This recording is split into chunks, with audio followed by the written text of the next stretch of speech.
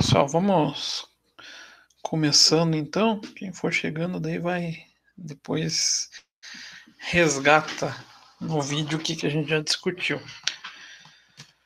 Então, antes de mais nada, recado da coordenação. Não sei se alguns de vocês já estavam sabendo, se não estavam, mas amanhã, dia 4 e sexta-feira, dia 5, vocês podem se inscrever em uma palestra. Uma não, né? São duas palestras na área de gestão e sustentabilidade. Deixa eu até ver que horas. Se não me falha, minha memória começa às sete e meia, vai até umas oito, oito e quinze.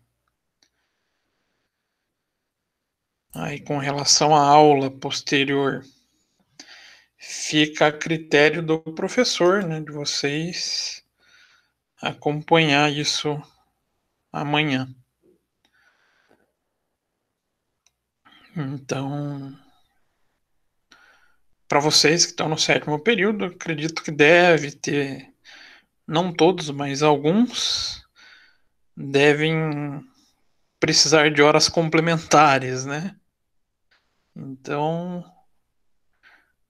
tem essas duas possibilidades para vocês. Tranquilo? Dúvidas, perguntas, questões? Tranquilo. Ô, Rafael, é esse que você mandou lá no grupo? Sim. Sim. Boa. Beleza. É, então agora já estão Estão por dentro. com o link para acessar, tá tranquilo. Representante aí, professor mandando ver. É, não, mas é bom que tem alguns representantes que não, não são tão atenciosos assim, né? Ainda bem que temos a Ana. Verdade. Mas. Então, daí, acredito que para alguns isso vai ajudar bastante, né? E a aula passada, então, a gente fez a correção do exercício 4. Não deixei atividade para vocês, né? É... E a gente começou a conversar um pouquinho do EBITDA. Então a ideia hoje é dar sequência nesse nesse conteúdo do EBITDA trazer um pouquinho sobre a importância dele, o cálculo e o que vem sendo empregado na utilização dele, algumas funções além da informação de desempenho, né? Então, vou compartilhar aqui.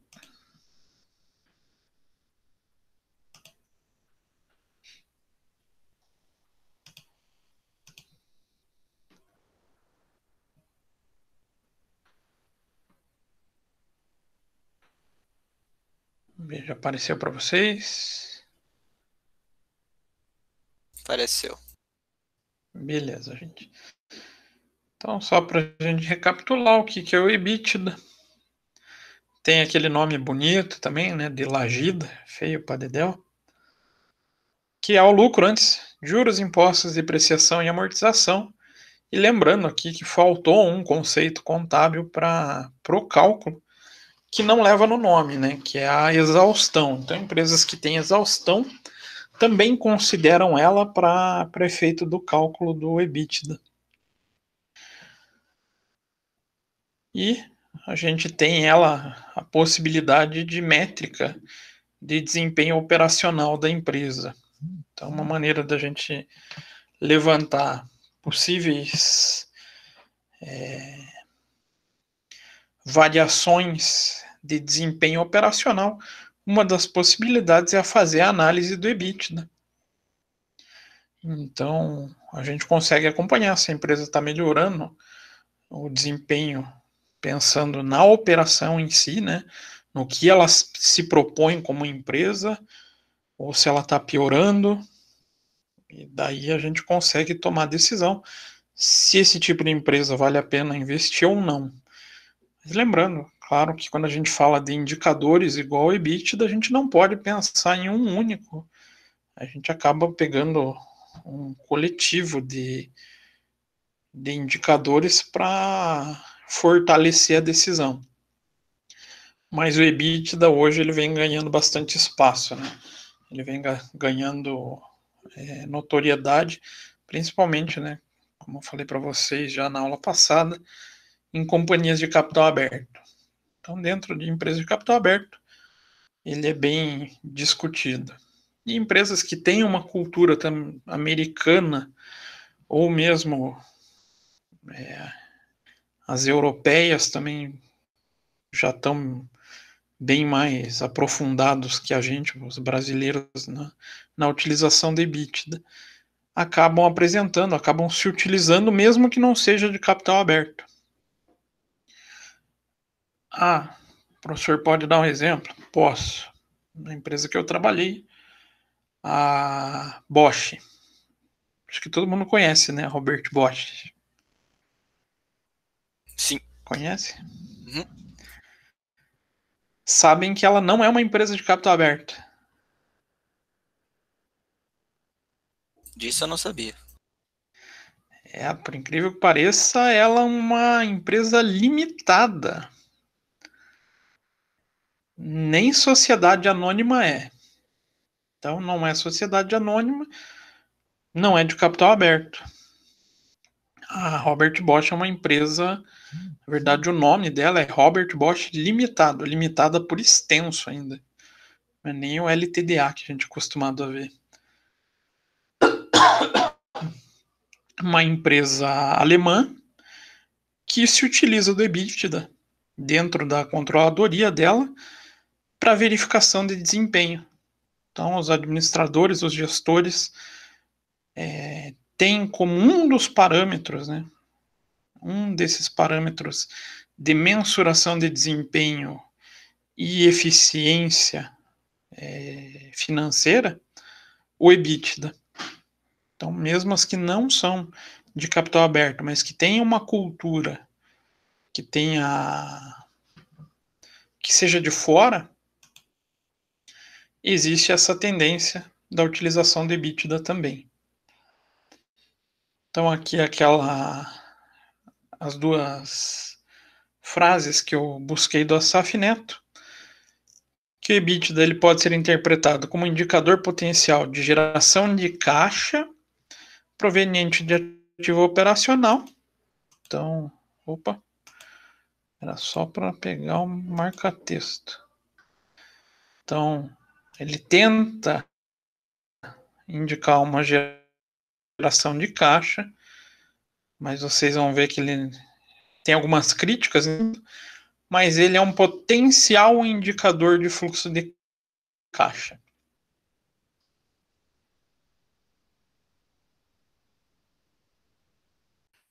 E é o mérito dele para o SAF Neto é justamente essa proposta de globalização então, da utilização de uma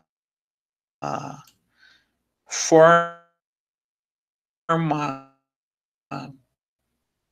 falar assim, uma linguagem universal dentro da área de finanças. Então ele então opa, tudo borrado. Então aqui tem o cálculo de EBITDA. A gente vai daqui a pouco fazer efetivamente o cálculo mas a gente vai se utilizar sempre da depreciação imposta sobre o lucro para efeito de cálculo. Então a gente consegue é, extrair o EBITDA de qualquer empresa se a gente tiver a demonstração de resultado. A empresa apresentou a demonstração de resultado, a gente consegue refazer a forma de apresentação de tal modo que a gente inicia pelo lucro líquido, faz os ajustes e apresenta aí tanto o EBIT quanto o EBITDA. Ah, professor, o que é o EBIT? É o lucro antes dos juros e impostos sobre o lucro. Então aqui ele já não entra a figura da depreciação. Aí quando a gente vai completar o cálculo, a gente utiliza depreciação, exaustão e amortização para apresentação do EBITDA. Então, na aula passada, a gente chegou até esse ponto, né? É, falando da função informacional. Efeito que ele apresenta hum, como informação aos usuários, tanto internos quanto externos, das informações financeiras. Ele tem a função do indicador tradicional, ele é fácil de ser calculado. Então, consequentemente, é fácil de ser empregado fatores de avaliação sobre ele. Vem se tornando um modelo até bom. Eu acho ele bom, particularmente eu gosto dele também. Não sei se é porque trabalhei em muitas empresas que utilizam o EBITDA como métrica de desempenho. Eu acabei me adaptando muito bem com ele, então eu gosto muito da utilização dele. Então eu defendo ele como uma boa medida, uma boa métrica de desempenho operacional. É perfeita? Não dentro da área de finanças, dentro da área corporativa, a gente nunca vai ter uma ferramenta que seja perfeita. Ela sempre vai apresentar falhas, principalmente de acordo com os segmentos que ela for, foi empregada. Por exemplo, o EBIT dele não é tão útil na figura dos bancos. Como a parte de juros, a parte financeira é a operação dela, ela acaba tendo, sofrendo distorções. Então a área financeira ela não é tão boa assim. Então aqui a gente encontra uma restrição nesse sentido. E, e outra característica é que ela não depende de decisões de financiamento da empresa. Então ela acaba sendo um conceito de lucro operacional puro ou genuíno dessa empresa.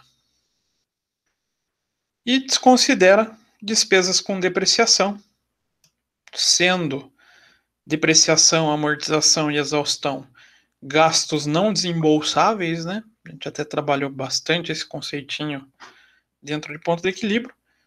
Ele acaba sendo esse potencial é, fluxo de caixa gerado dentro das operações da empresa. Opa. Então a ideia é que quanto maior, mais eficiente vai ser a formação de caixa operacional. Consequentemente, melhor a capacidade de pagamentos dos capitais empregados nessa empresa. Aí pode ser tanto capital próprio quanto capital de terceiros. Tem aqui dúvidas? Deu para relembrar um pouquinho do que a gente falou na aula passada? Deu sim. Mais ou menos. Então, para vocês verem como essa ideia de informação dentro dessas empresas, dessas grandes corporações é grande. Selecionei uma empresa que eu gosto muito pela qualidade da informação. Separei aqui para a gente conversar sobre a Embraer. Então, primeiro trimestre de 2019 e primeiro trimestre de 2020. Reparem, logo nos primeiros parágrafos, qual o indicador que eles apresentam por primeiro?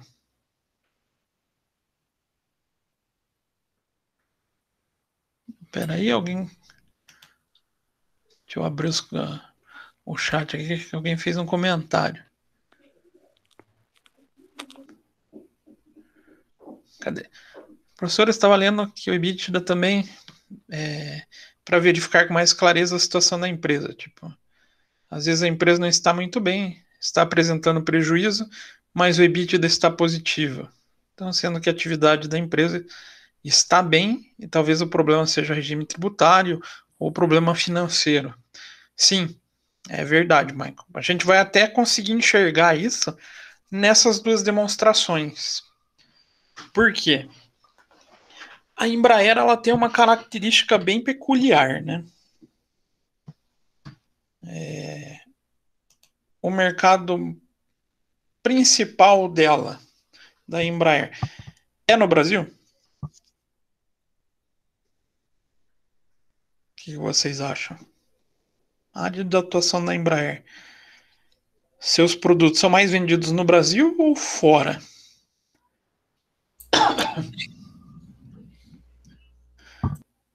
Não entendi. Eu não sei dizer, professor. O produto é basicamente para exportação. Só a gente vê, a gente só tem uma companhia aérea que é consumidora de produtos da Embraer aqui. A grande maioria das aeronaves são para o público externo. Isso indiferente se é a linha comercial ou se é a linha de executivos, é, o maior consumidor é o público externo. Consequentemente, começo de, de dezembro de 2019, início de 2020, esse mercado já apresentava um certo abalo, não apresentava? Sim. Reparem que ele colocou, inclusive no terceiro ponto de destaque deles.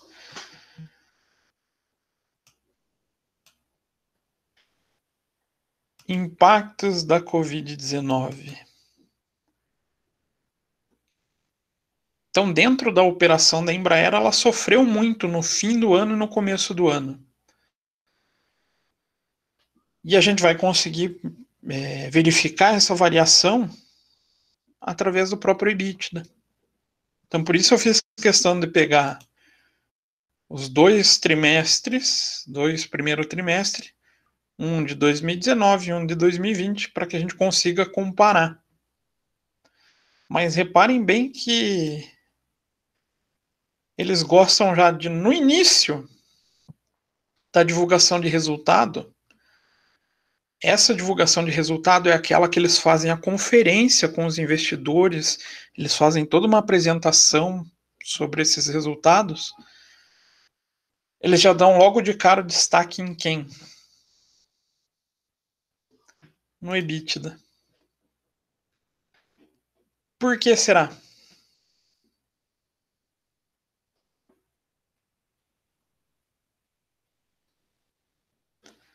A gente volta ali na apresentação, no, no PowerPoint, quando a Saf Neto comenta que ele é uma métrica que está sendo global, vem buscando, vem conseguindo esse espaço globalizado. Muitos dos investidores da Embraer não são brasileiros. A maioria do capital investido na Embraer é estrangeiro. Então, qual a melhor ferramenta para conversar com essas pessoas? A, os indicadores que, ele tem, que eles têm preferência. Então, se eles não colocam isso no relatório de, de, de resultado deles, logo no início dessas conferências, até se vocês entrarem no site de RI, vocês conseguem escutar essas conferências, só que o problema é que elas, em geral, são em inglês, tá? É... Se não tivesse essas apresentações, a primeira informação que os investidores iam cobrar era o EBIT e o EBITDA. Justamente para conseguir enxergar esse, essa evolução no seu desempenho. Aí ela traz um quadro com os seus principais indicadores financeiros. Então tem um, dois, três, quatro, cinco, seis, sete, oito, nove, 10, 11, 12, 13, 14, 15. 15 indicadores que eles apresentam para os investidores como principal. Desses 15, a gente tem 1, 2, 3, 4, 5, 6, 7, 8 baseado no EBITDA. Então dá para ver que a importância dado pelos administradores na apresentação do EBITDA, ela é bem significativa, né? Então ela vem sendo uma ferramenta é, importante no cenário financeiro, nesse cenário de investimentos.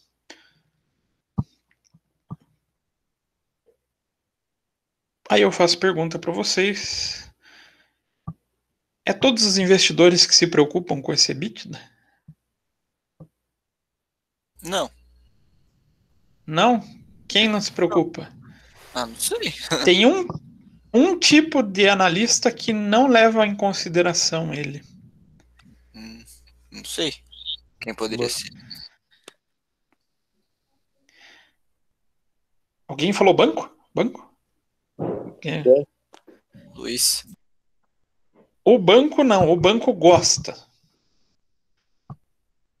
Banco a gente vai ver que eles utilizam até o EBITDA para outras funções, funções até um pouco mais é, mais de controle, inclusive, de garantias.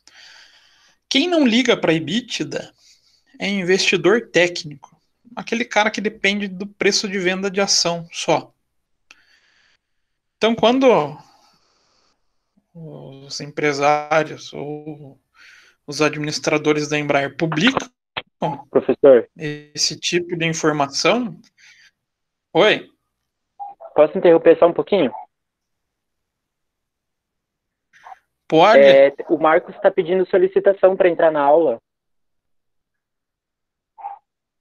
Ué, que estranho. Não tá aparecendo para mim. Não? Ten- Tenta pedir para ele sair e entrar novamente. Tá.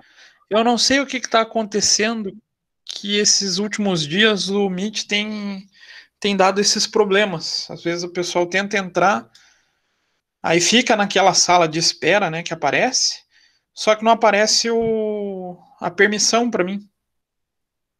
É, aconteceu comigo. Aí muitas vezes o pessoal sai, entra, aí funciona.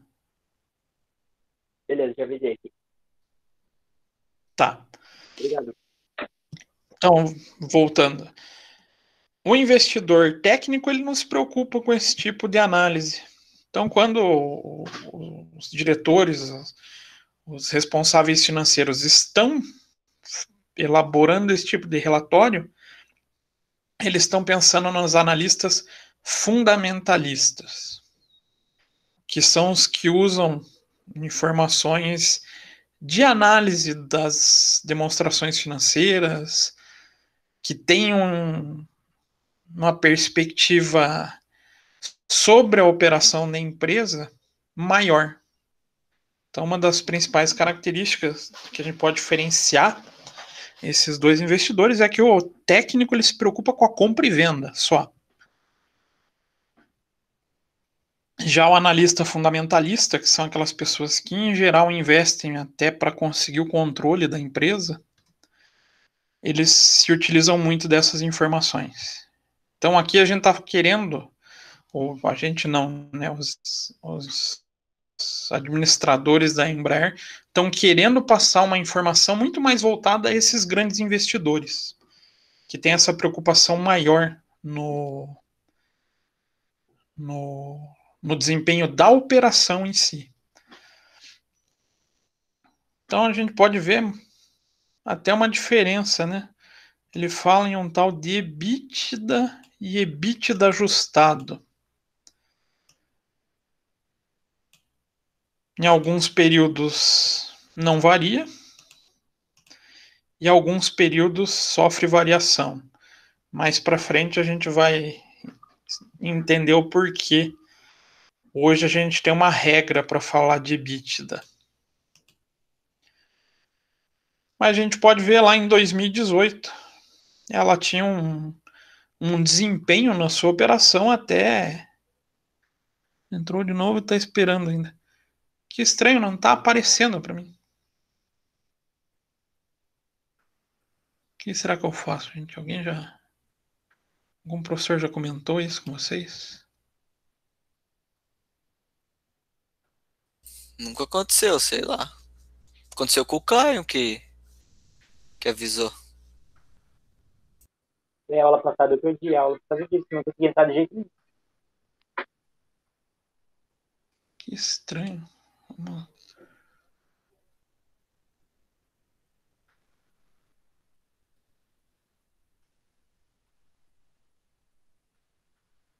Hum, Vou pedir um favor, pede o endereço do e-mail que ele está tentando usar para entrar, que eu vou tentar adicionar ele por aqui, para ver o que, que, o que aparece.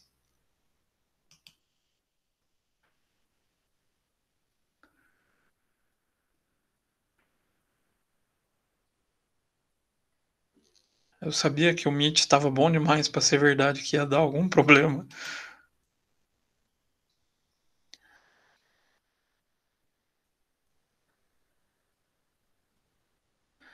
Então, se vocês conseguirem pegar o e-mail dos dois, eu tento ver aqui que tem um, uma ferramenta adicionar. É, adicionar não, convidar pessoas, aí eu já tento mandar esse convite para ver o que aparece. Porque eu não. Eu sinceramente não sei. Porque será que se eu interromper o. Vou cortar o compartilhamento só para ver o que aparece, tá, gente?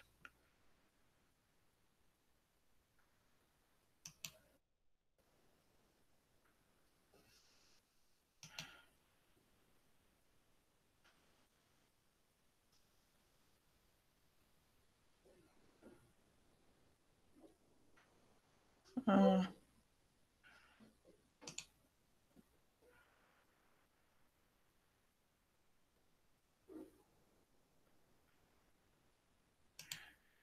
Nem interrompendo o compartilhamento aparece para para autorizar a entrada. O legal é que a gente está tendo quase virar técnico de informática para poder dar aula.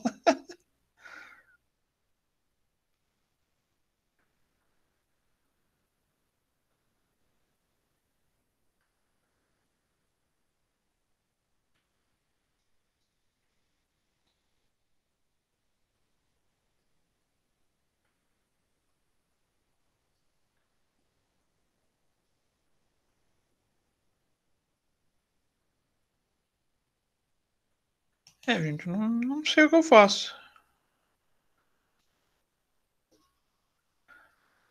Vamos continuando aqui. Se vocês conseguirem o um e-mail, a gente tenta.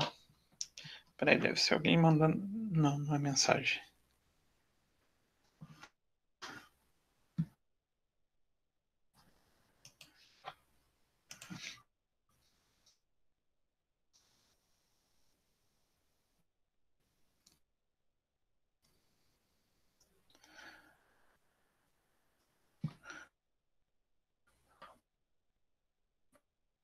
Vamos copiar aqui.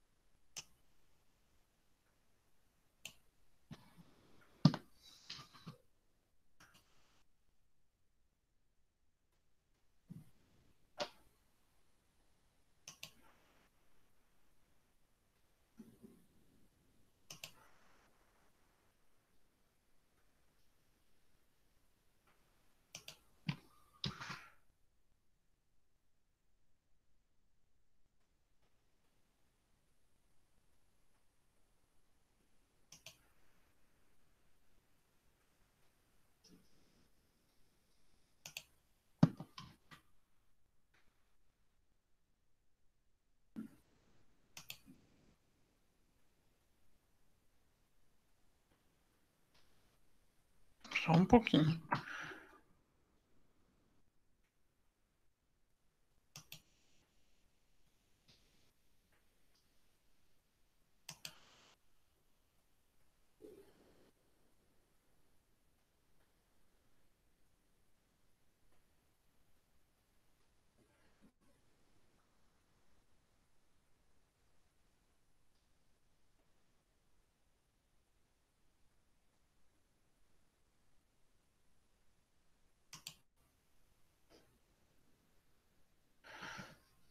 Yeah.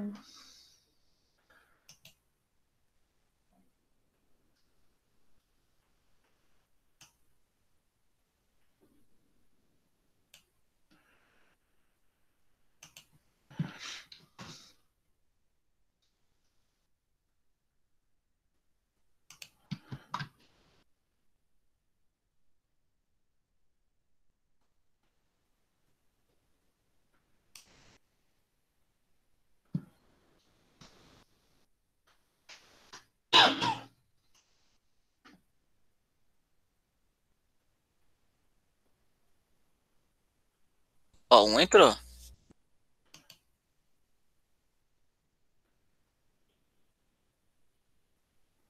Provavelmente acho que foi o Marcos, não foi? Foi. É, foi o Marcos. Agora vou mandar o convite pro. Gabriel. Meu Deus do céu, gente. É, é muito. É muito complicado mexer com esses negócios aqui. E eu acho uma terrível pena que o Zoom é muito caro, porque ele é muito mais funcional para usar.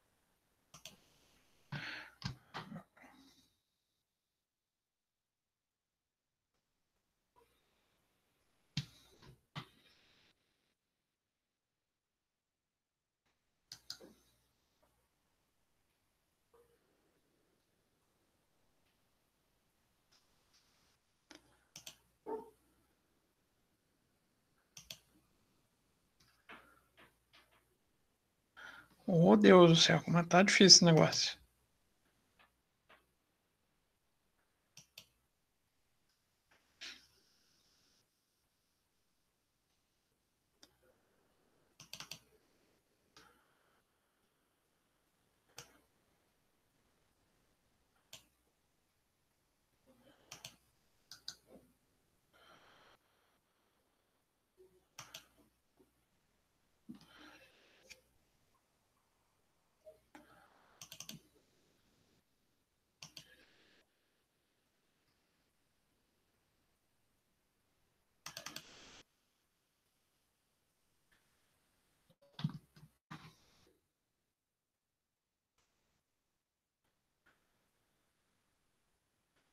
Acho que que foi. Vamos ver se ele vai conseguir entrar também.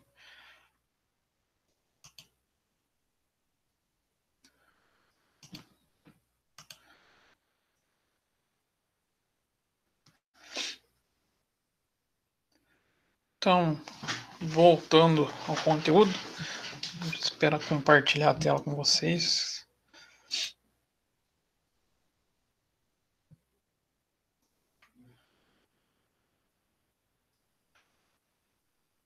Apareceu para você, Apare- gente? Apareceu a tela. Apareceu, professor. Então vamos. Beleza, vamos lá então. Então, falando da figura EBITDA para a Embraer. Vocês podem ver que em 2018 ela teve uma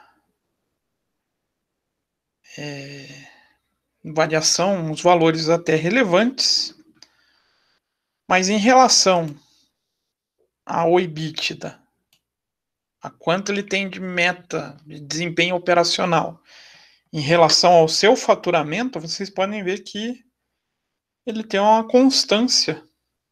Só 2019 que a gente vai perceber que ele entrou em um declínio.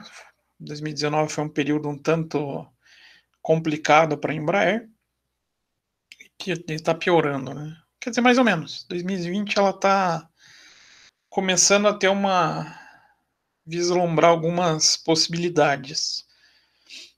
Mas 2018 foi um ano que ela teve muita demanda.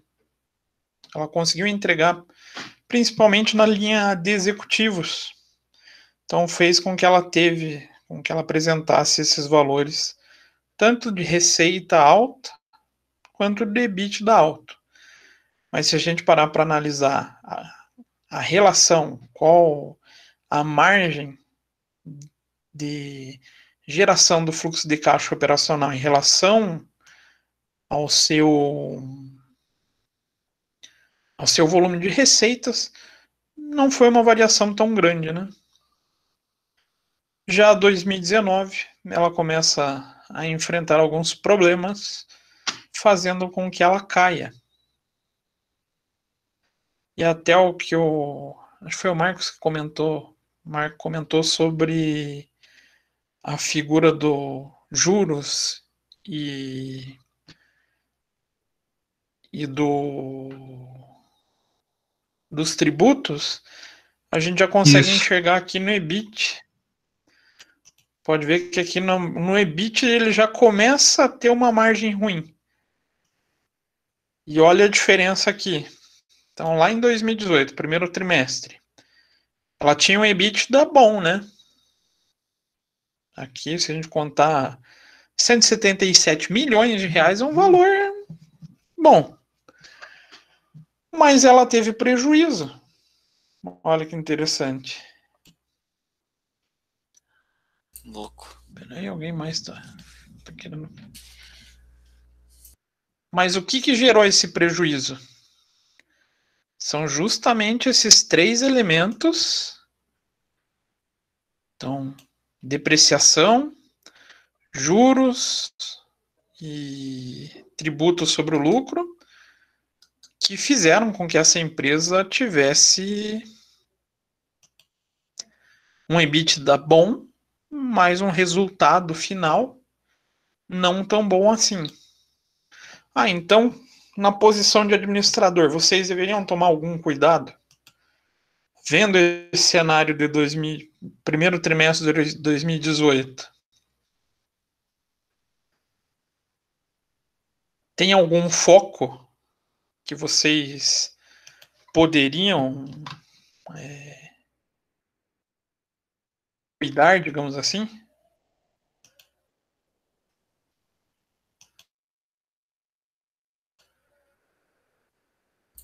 Saber. Aí, Maico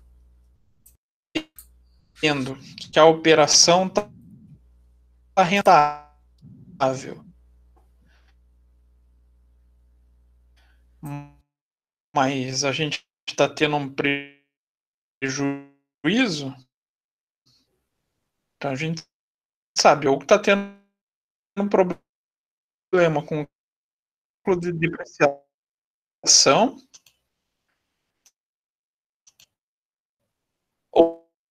tá tendo um problema com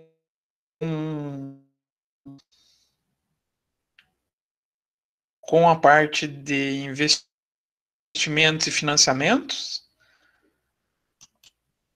Então a gente pode estar tá pagando juros demais. Ou a gente está com um problema de imposto de renda imposto de renda e contribuição social, né? Aí a gente pode entrar na figura do plano tributário. Mas aqui a gente já consegue começar a isolar problemas.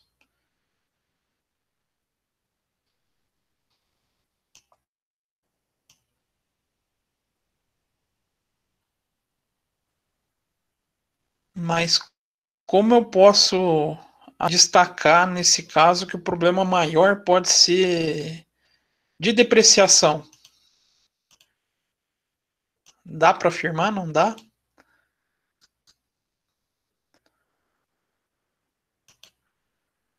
Só a gente pensar no EBIT, que é o, os juros antes dos impostos impostos. É juros não, é o lucro antes dos impostos e juros. Olha a queda que a gente tem para 27 milhões negativo no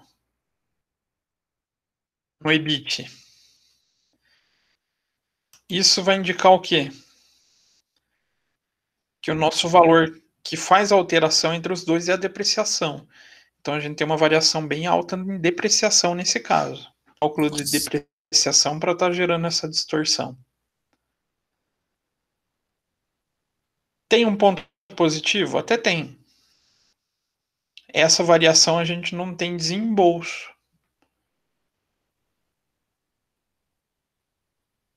Mas afeta a imagem perante quem? Os investidores. Que claro, o investidor quer um bom EBITDA, quer um bom EBIT, quer. Ação. Quem que faz investimento em uma empresa que não quer lucro? Não quer distribuição de dividendos? Não tem, né? Eu, pelo menos, não conheço nenhum. Pera aí, gente, eu tô tentando inserir mais gente aqui na sala. Mas eu tô me batendo.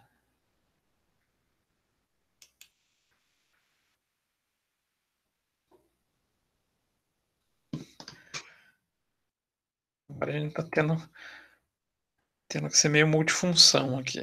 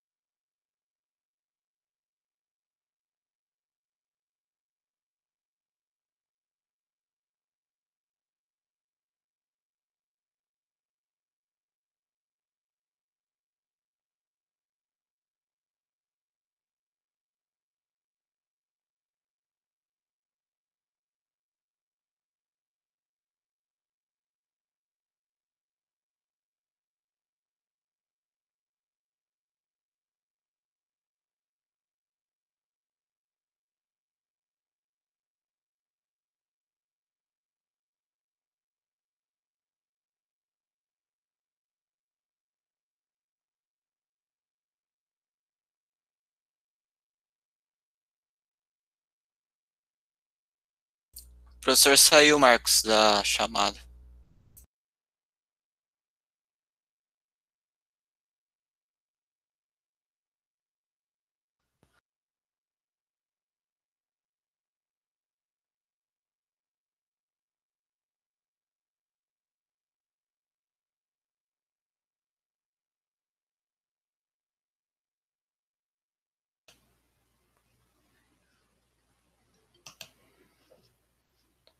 Estão me ouvindo, pessoal? Sim, sim. Eu consegui apertar tanto, tanta coisa aqui que eu me derrubei. Então, coisas que, que a gente só vive nesse mundo, pelo amor de Deus, nesse meio digital. Então vamos compartilhar de volta. Acho que agora eu consegui fazer o pessoal que estava fora entrar. Mas eu acho que o, o Google Meet está começando a ter problema de sobrecarga. Muita gente está migrando para o uso dele. Então, que eu estava conversando com vocês, a ideia do, do EBITDA, a variação do EBITDA para o EBIT, eles transformar naquele lucro positivo. Então, 177 milhões para um EBITDA de 27 milhões. Então, identificar que essa variação é da figura da depreciação. E para chegar no prejuízo, aí a gente sabe que aqui a gente tem problema de juros e impostos. Então a gente começa a ter possibilidades de norte do que está acontecendo. E se vocês olharem, a figura do EBIT ela é prejudicial na Embraer. Então ela está corroendo, a depreciação vem corroendo valores altos do resultado. Aí precisa investigar, né? O, ou quem é investidor precisa questionar os administradores sobre o porquê que isso vem acontecendo. Por que, que a Embraer vem mantendo esses ativos com depreciação alta e qual a razão da existência desses ativos, né?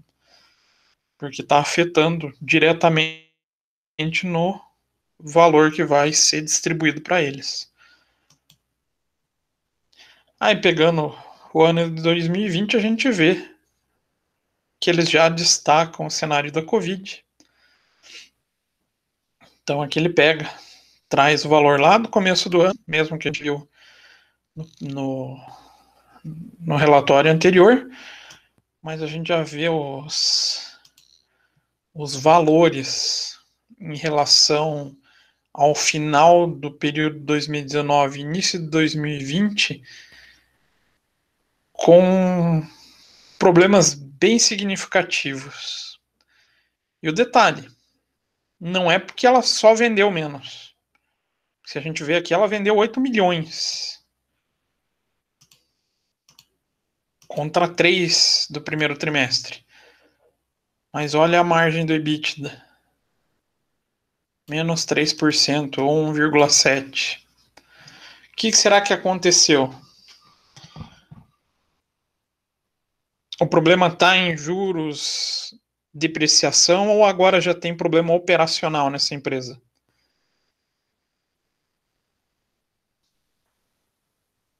Acho que Será tem, que tem? Será que não tem? Já tem essa, Tem. esse problema aí.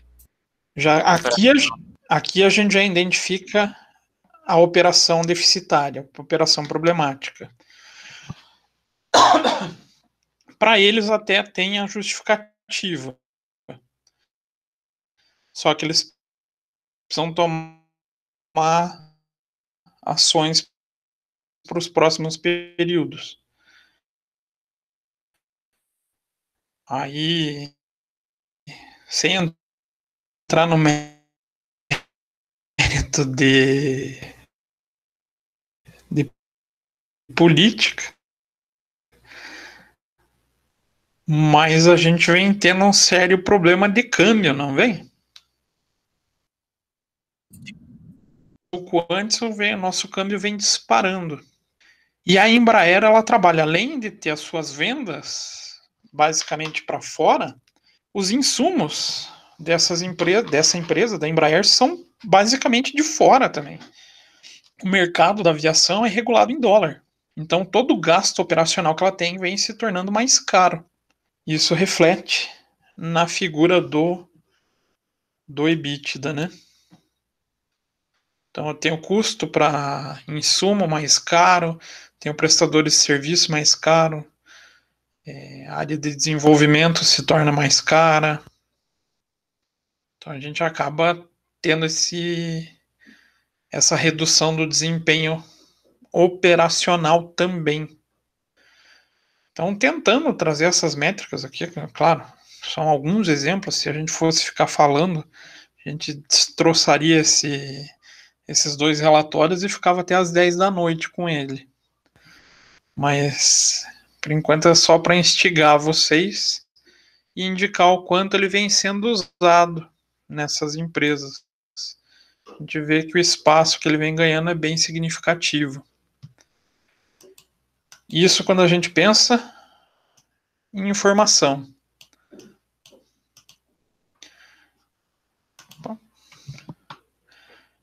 além da figura de informação aqui que a gente também acaba apresentando. Ah, que agora o meu PowerPoint vai travar. Só...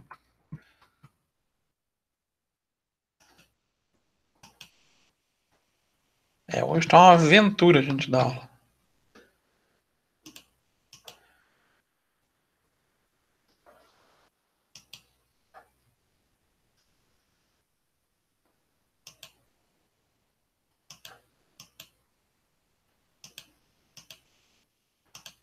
Thank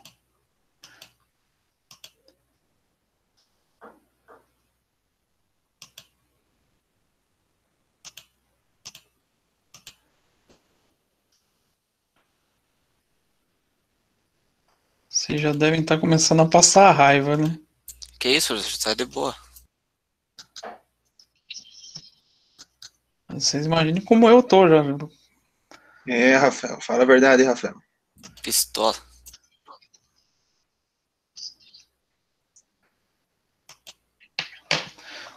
Oh, Deus do céu, o que que agora.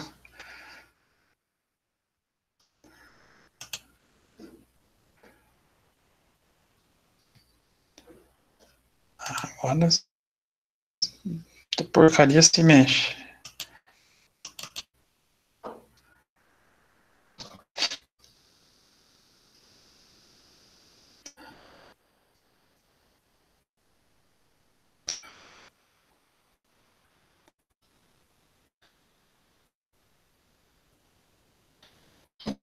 Olha, no ritmo que tá as coisas, vou ter que arrumar um computador i7 com 16 GB de memória aqui.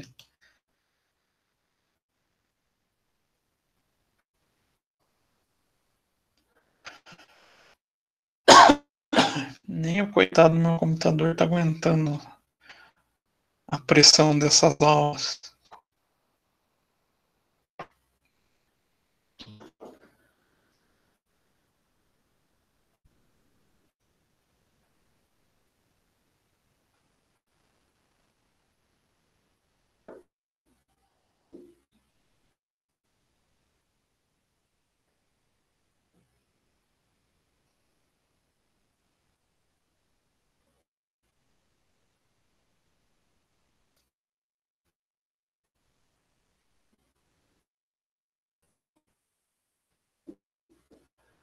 Ah, tá. Agora não vai abrir o Excel, o PowerPoint, só para ajudar, né? Só pra ajudar mais.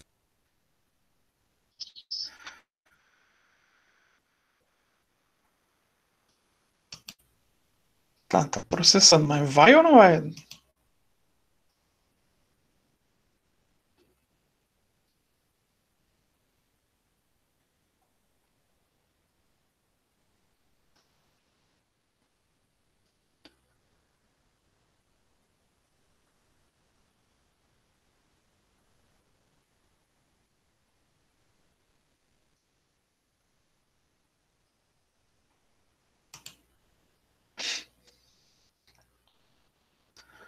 Então eu estava indo para esse slide.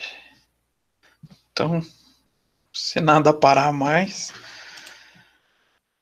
a gente chega na outra função que ele vem sendo empregado, que é utilização na área contratual. Então, alguns financiamentos de empresa podem possuir cláusulas restritivas. Os covenantes geralmente são covenantes negativos, determinando níveis máximos de endividamento e de alavancagem, bem como mínimos de cobertura de parcela vencer e manutenção de saldos em disponibilidades. Então, as empresas vêm adotando ou vêm sendo obrigadas a adotar métricas envolvendo EBITDA para controle do seu desempenho como garantia de pagamento desses credores. Então, desses financiadores de capital, venha utilizando a figura do EBITDA como cláusula restritiva. Primeiro exemplo que eu peguei, própria Lupatec, empresa de capital aberto. Então, toda vez que eles tiverem uma divulgação, uma divulgação não, uma contratação de empréstimo onde tenha a restrição, ela é obrigada a divulgar como uma nota relevante. Então, ela faz um esclarecimento sobre essas, essas cláusulas restritivas. E reparem nas duas métricas dessa cláusula. EBITDA. Então, preciso ter um desempenho onde o EBITDA dividido pela despesa financeira tem que ser superior a 2. Então, eu tenho que ter um resultado mínimo de, desse desempenho financeiro de duas vezes o meu montante de despesa financeira. E também uma divisão da dívida líquida sobre o EBITDA tem que ser maior, é, maior não, menor do que 2,5. Então não posso ter mais do que duas vezes e meia da, do valor do meu EBITDA como dívida. Senão eu posso sofrer a sanção que eles determinarem nas cláusulas do contrato. Então, esses financiadores fazem o um acompanhamento para que elas não sejam quebradas. Aí a gente pode encontrar problemas igual esse da Forjas Taurus. Eles tiveram sua suas demonstrações contábeis tendo que ser redivulgadas por algumas alterações na contabilidade de critérios contábeis e que nesse período acabaram alterando a dívida. A... E a figura do EBITDA. O que aconteceu?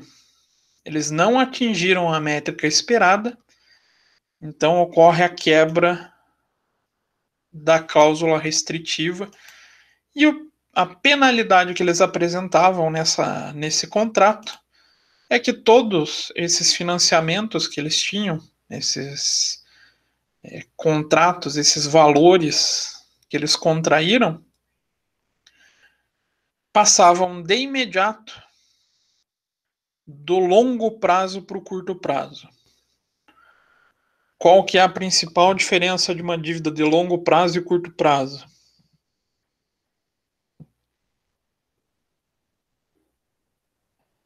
Isso é uma pergunta.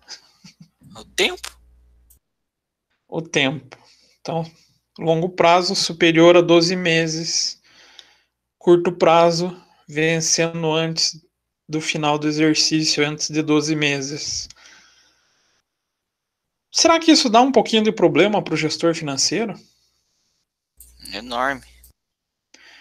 Pensem vocês fazendo a projeção do caixa dessa empresa. Então, fazendo projeção do caixa, vocês vão ter que prever saída de, de recurso para pagamento de empréstimo, não vão? Sim. Agora pensem vocês planejando toda essa saída vencendo 24 meses, 36 meses, e por esse problema toda essa dívida passa para o curto prazo. Olha o transtorno financeiro que isso gera para a administração. Até a divulgação deles de 2013, eles fazem menção a esse problema. Então, aqui a divulgação da, da Taurus de 2013 e 2014. 14 não, 2013, último trimestre de 2013. Aí eles fazem a, a menção sobre essa quebra. Então, como eles tiveram que fazer a reapresentação que interferiu no cálculo de EBITDA e na dívida líquida, eles acabaram tendo que fazer essa, essa migração e por se tratar um fato relevante na mudança das demonstrações, eles vão ter que divulgar para o mercado também. Será que isso é bom para a imagem da empresa? Lembrando que a, a Taurus é uma empresa de capital aberto. Nem um pouco. Nem um pouco. Isso vai fazer um, uma bela marca na, na imagem da empresa. Então, a busca desses administradores, quando tem esses contratos de, com cláusula restritiva, é que eles demonstrem que eles conseguem atender essas cláusulas. Então, é comum a divulgação dessa dessas métricas quando existem. quando a empresa passa por essa situação. Eu até deixei uma página da internet aberta com a divulgação da Unidas. A Unidas, empresa de captura, na área de locação de veículos. Na, em uma das companhias dela, eles têm quatro cláusulas restritivas em contratos. Reparem quantas envolvem o EBITDA. Metade. Aí se a gente analisa a Unidas SA, que também, é, digamos, é a holding do grupo, também tem a mesma figura de cláusulas restritivas, mas aqui já dois terços dessas cláusulas são envolvendo EBITDA. Então, o EBITDA, além de trazer essa figura informacional importante, ela vem ganhando notoriedade também como acompanhamento para garantia dos pagamentos desses empréstimos e financiamentos. Então, por que, que existe uma cláusula como essa? Dívida líquida divididas pelo EBIT da corrente. Então, a empresa tem que ter suas dívidas pelo menos 2,16 vezes maior do que o EBITDA. Quer dizer, é, não, é isso mesmo. Por que será? Não pode ultrapassar essa métrica. Se você começa a contrair muita dívida com EBITDA considerado pequeno, qual a chance de você pagar? Vai aumentar a chance ou vai diminuir?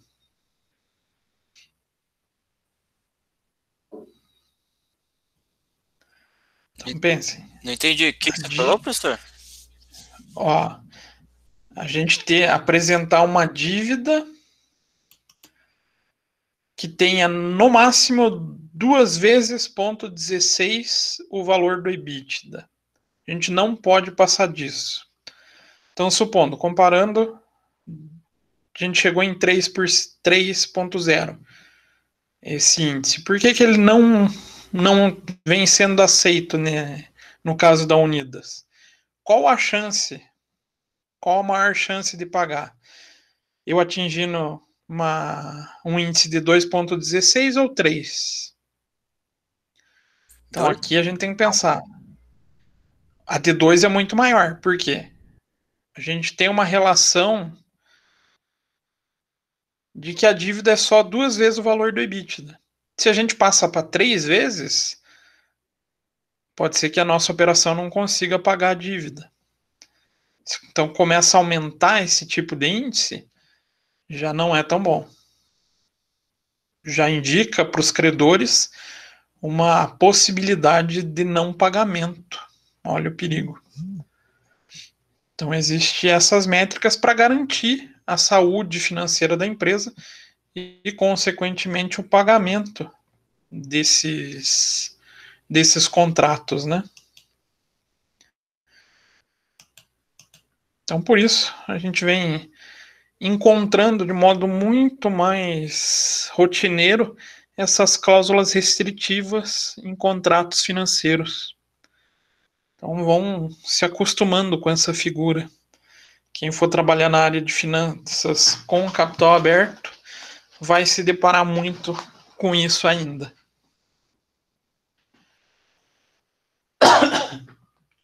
Aí, começo dos anos 2000, surgiu uma pequena discussão. Necessidade de regulamentação do EBITDA. Então, essa discussão surgiu por ele não ter medidas ou utilizar de medidas não oficiais. Então, organizações que utilizam IFRS ou SGAP já vão poder ter diferenças, ou empresas de países que não adotam essas normas vão utilizar métricas ainda diferentes. Então a gente começa a ter essa dificuldade de definição. Então, de, de repente, a normatização sobre depreciação em um país é diferente do que na outra. Será que isso existe? Existe. Existe, gente. Por incrível que pareça, normas sobre contabilidade varia de cada país para cada país. Hoje a gente até vem encontrando a figura da, da internacionalização das normas, mas nem todo mundo adota. Um grande exemplo disso é o próprio Estados Unidos. Ele não é signatário do, das normas internacionais. Ela tem a sua própria norma, que é o US GAAP. Então, diferença de normas podem levar a, a formas diferentes de cálculo e, consequente, métricas do EBITDA diferente. Então, existe a dificuldade de comparação entre empresas. E também nas multinacionais dentro da própria empresa. E claro, tudo que envolve dinheiro e investimento pode estar sujeito a abusos dos gestores. Nossa, mas qual o interesse em divulgar de modo abusivo o EBITDA ou melhorar o meu índice? O que, que eu ganho com isso?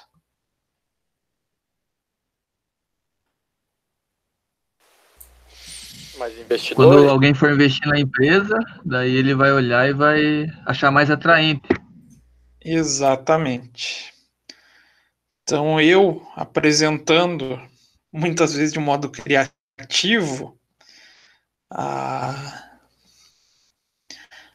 a variação do EBITDA, a melhoria desse EBITDA, eu consigo atrair mais investidores. Aí entra até na, na lei da oferta e demanda, a, a figura da regulamentação dos. Regulamentação não, né? A norma. Também não é norma. Oita. A teoria que rege os preços das ações que é a lei da oferta e demanda. Mais gente procurando essa ação, maior o valor dela, né? Então, começou a discutir todo, toda essa variação. A gente chegou em um período e surgiu casos como. Tá certo que hoje em dia já tem alunos que estavam nascendo nesse período, tinham 3, 4 anos de idade. Mas esse foi uma das maiores fraudes financeiras que existe. Inclusive virou tema de filme de comédia. Aí eu pergunto quem já assistiu as loucuras de Dick Jane? Eu não assisti, não. Eu, Eu assisti, professor. É o filme com Jim Carrey, ainda bem. Quem não 2005. assistiu. Quem não assistiu, assista. É, é bom também para dar risada. Porque é uma, é uma boa comédia. Só que o pano de fundo desse filme é esse caso. Então, Eu assisti, mas não fazia ideia que era história real, professor. Que era baseado num é, acontecimento é real. base- é baseado nesse caso. Inclusive, no finzinho do filme, eles deixam bem claro isso. Quando ele encontra no finzinho do filme o amigo dele chegando com um carrão, ele já tá com aquele carro simplesinho dele. O amigo dele falando que arrumou um emprego numa empresa muito boa e fala que é o WordCom. Aí ele entrega realmente o pano de fundo. Mas o que que acontecia? A WorldCon ela tinha a prática de passar as dívidas dela para subsidiárias, que não eram empresas com divulgação das demonstrações. Eles acabavam manipulando todo o resultado, trazendo mais receita para a WorldCon e as despesas eles jogavam para essas subsidiárias. Então, não que a despesa não existia, Mas na principal empresa que era a investidora, essa essa despesa não configurava na demonstração. Fazia o que com o resultado, tanto a parte de lucro quanto a parte de bítida, jogava lá para cima. Então, começou a discussão. É, começou, não, ganhou muita força. Em duas frentes, né, a normatização tanto dessas divulgações do EBITDA, quanto a figura da normatização contábil no padrão mundial.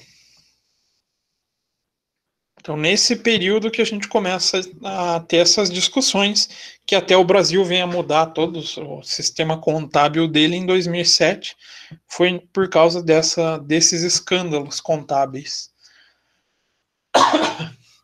Mas isso não ficou caracterizado só no Brasil. A gente teve um período ali entre 2010 até 2013, onde as empresas faziam manobras no seu EBITDA.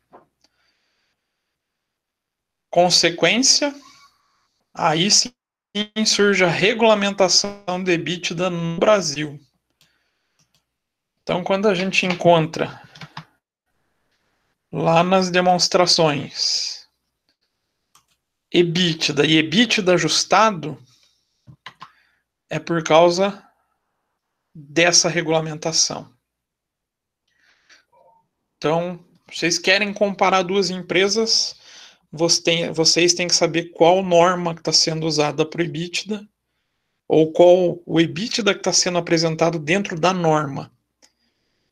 Porque daí vocês têm reais padrões para comparar. Vocês vão comparar um, a mesma informação entre empresas diferentes. Então, a regulamentação se deu pela instrução CVM 527. E a primeira é, informação que ela traz para os administradores é que a divulgação de EBITDA ela é voluntária. Então, demonstra o EBITDA daquela empresa que se sentiu à vontade. O que, que é? Aí a gente entra numa num contrassenso, num contraponto. Existe essa dificuldade de, de indicadores que o mundo inteiro entenda. O EBITDA é um deles. Vocês administrando uma empresa de capital aberto, vocês vão dar preferência para o EBITDA ou não? Sim, sendo ele um indicador que a maioria dos investidores do mundo entende e utiliza, a tendência é que vocês utilizem, né? Para que vocês tenham informação para que consigam atrair investidor. Feito isso, feita a escolha da divulgação, é obrigação do auditor fazer a sua análise. Ou seja, a empresa fez a escolha da divulgação, o auditor vai ter que colocar essa essa demonstração no parecer dele. Então, já aumenta o critério de veracidade sobre essa informação, passa a ser uma informação auditada. Então, o EBITDA oficial ele é importante, e porque ele consegue trazer a comparação entre as empresas e também porque ele traz a conferência, o crivo do auditor em cima desses valores. Então, igual a empresa, a Embraer, para conseguir apresentar essas linhas, teve que ser submetido para auditoria. Senão, não era possível.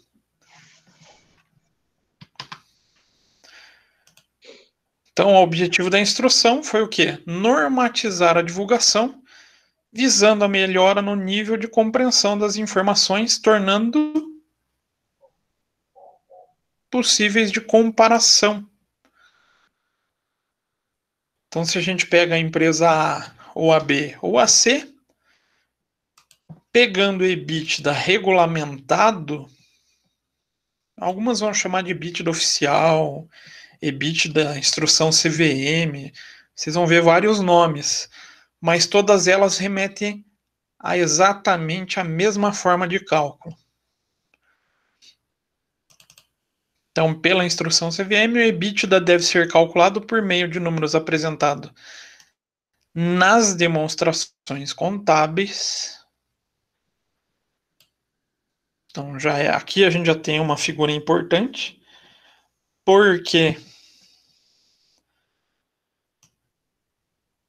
sendo uma divulgação voluntária e eu tenho uma empresa de um segmento que eu quero comparar com outra empresa que não faz a divulgação, será que eu posso calcular sozinho e chegar num valor para comparação?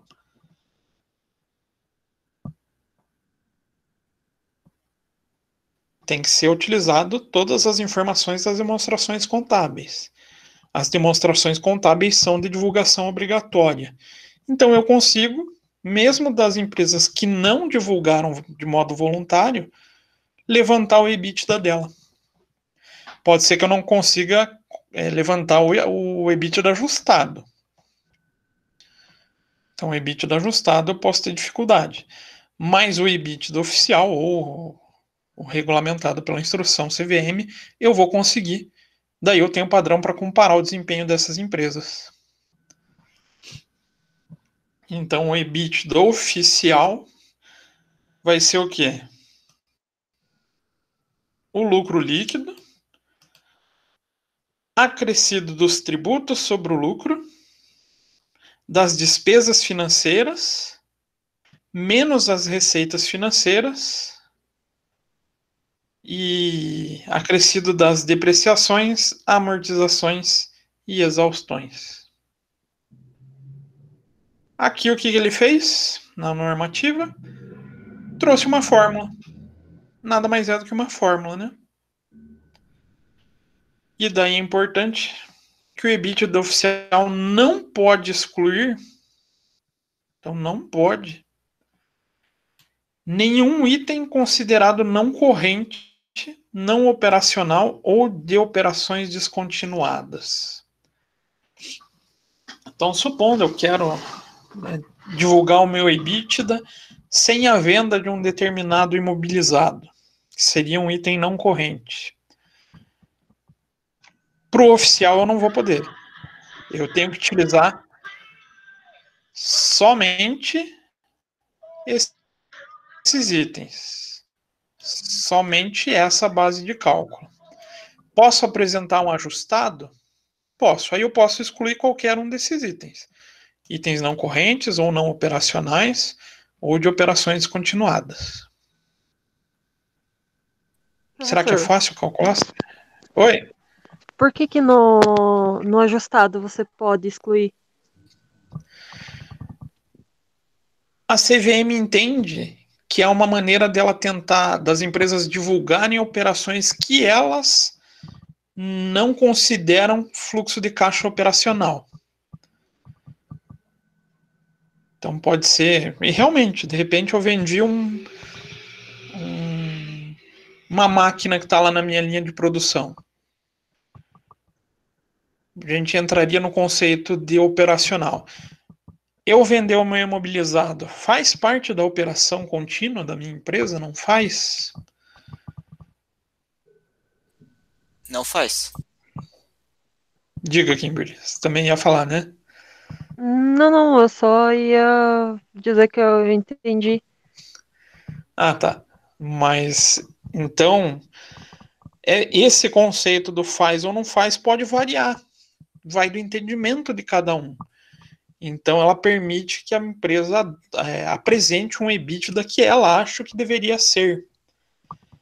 Mas, por padrão de comparação, ela define que o EBITDA oficial tem que ser é, calculado exatamente como está descrito na fórmula, que é ou no parágrafo do texto. Que, na verdade, aqui, se a gente parar para analisar, é uma fórmula, né? Uhum porque daí a gente tem padrão de comparação e daí também pode é, avaliar o que, que eles consideraram como não operacional. Então, quando a gente encontra na demonstração uma figura de EBITDA e uma figura de EBITDA ajustada, é porque dentro desse EBITDA ajustado ele considerou que algum item não era da operação. Pode ser que ocorra igual no primeiro trimestre aqui, né? Fique exatamente igual. Pode ser que tenha algum item que não seja considerado. Ah, um bom exemplo disso é ajuste a valor realizável, já ouviram? Ou ajuste a valor recuperável, até mais conhecido como Não. recuperável. Todo período, um contador tem que fazer a reavaliação dos ativos para verificar se ele está condizente com o valor possível de ser recuperado quando ele for vendido. Por isso o nome ajuste a valor recuperável. E esse ajuste, ele vai influenciar no resultado da empresa. Mas ele não faz parte da operação da empresa. Aí entra a discussão. Tem gente, tem contador que vai falar, não, mas faz parte. O imobilizado vai perder valor.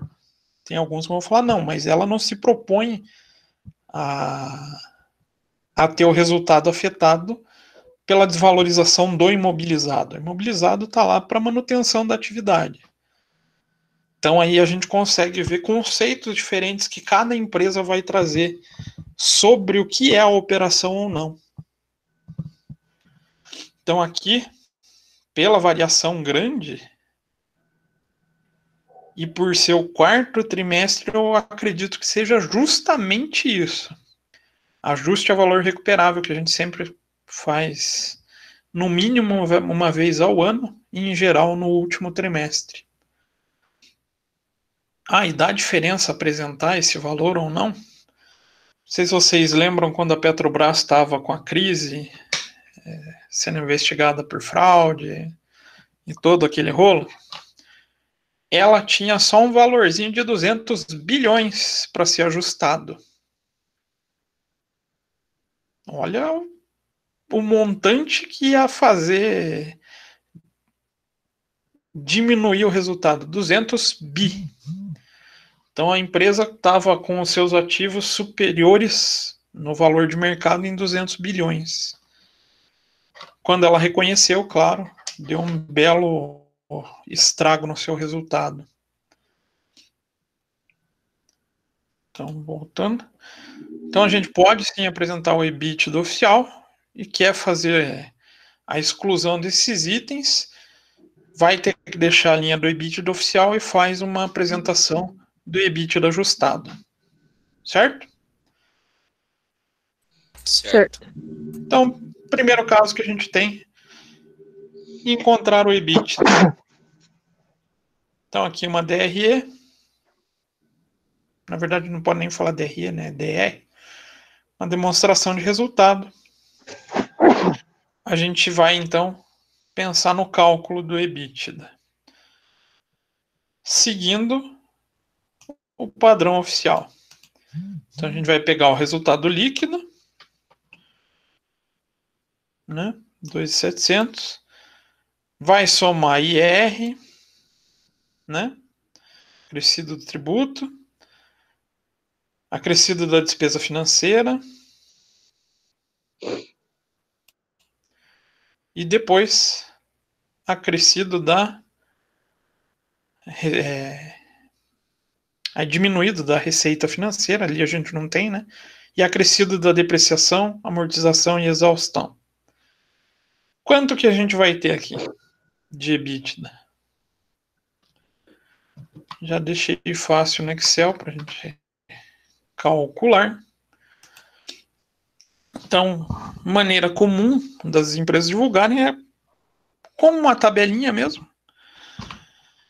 Então, resultado. Resultado líquido.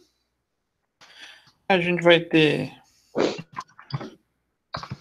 despesas financeiras.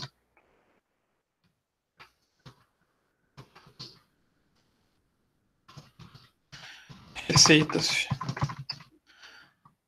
financeiras.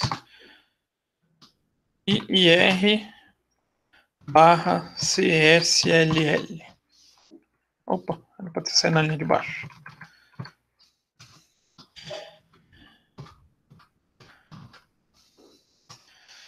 Aqui a gente chega num primeiro resultado. Então a gente costuma deixar em negrito a receita líquida. E aqui a gente traz um primeiro resultado. Esse primeiro resultado não é obrigatório apresentar, mas vocês vão entender que ele é comum ser encontrado. Não é obrigatório, mas é aconselhável, que é o EBIT. EBITDA, então, lucro antes dos juros e imposto sobre o lucro. A gente tem lá 2,700. Despesa financeira a gente soma, né? 900. Não tem receita financeira. E a gente soma 1,4%. Então, Para chegar no EBIT, resultado líquido mais despesa financeira menos receita financeira. Opa. Mais imposto ou tributo sobre o lucro. Chegamos em um EBIT de 5 mil. Aí a gente vai tirar depreciação.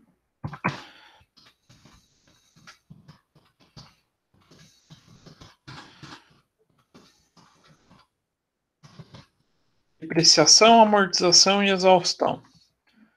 A gente vai somar esses mil reais. A gente encontrou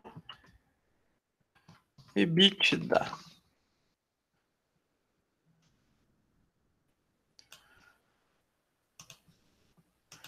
Então, vai ser o quê? O EBIT mais a depreciação e amortização e exaustão. Chegamos no EBITDA dessa empresa. Então a gente precisa obrigatoriamente esperar que a empresa apresente isso. O EBITDA, no caso aqui o, o oficial. A gente não conseguiu pegar a demonstração de resultado e refazer ele? Sim. Por isso ele é considerado um bom indicador. Por mais que a empresa resolva não apresentar, a gente, como analista, pode calcular e comparar com as outras empresas que a gente precisa. Verificar a efetividade dele.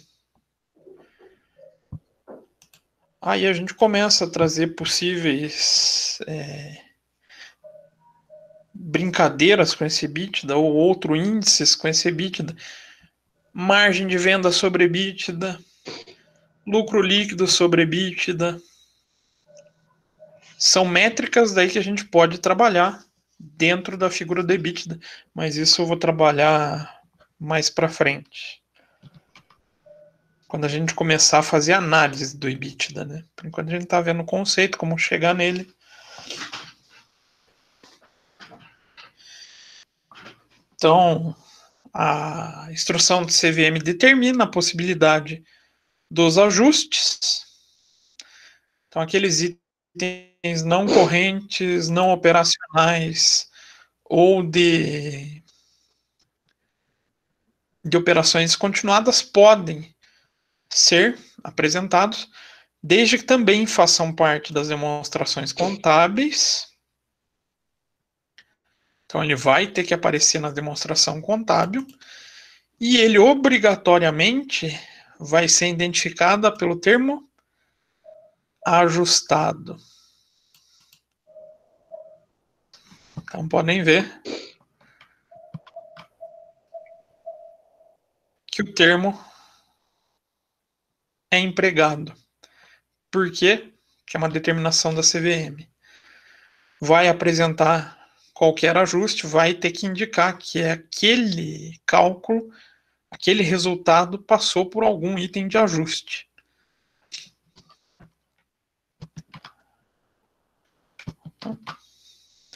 Então, devem ser divulgadas a forma do cálculo e também por que foi feito o ajuste. Então, é feita uma nota explicativa indicando o que foi ajustado e por quê, qual qual o motivo de ser considerado necessário esse ajuste.